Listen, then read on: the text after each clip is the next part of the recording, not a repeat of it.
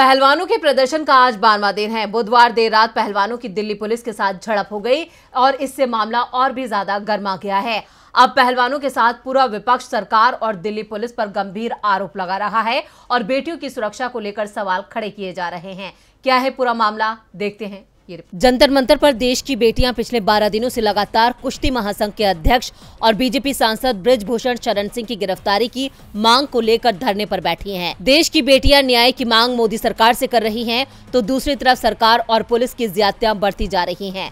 बुधवार देर रात धरना दे रहे पहलवानों और पुलिस के बीच झड़प हो गई पहलवानों का आरोप है कि नशे में धुत पुलिसकर्मियों ने पहलवानों के संग मारपीट की और अपशब्द कहे इस मामले को लेकर कांग्रेस नेता राहुल गांधी ने एक बार फिर मोदी सरकार को जमकर घेर लिया है। राहुल गांधी ने इस घटना को बेहद शर्मनाक करार दिया है और ट्विटर पर पहलवानों का वीडियो शेयर कर उसमें उन्होंने मोदी सरकार पर निशाना साधा है। राहुल गांधी ने लिखा, देश के खिलाड़ियों के साथ ऐसा बर्ताव बहुत ही शर्मनाक है।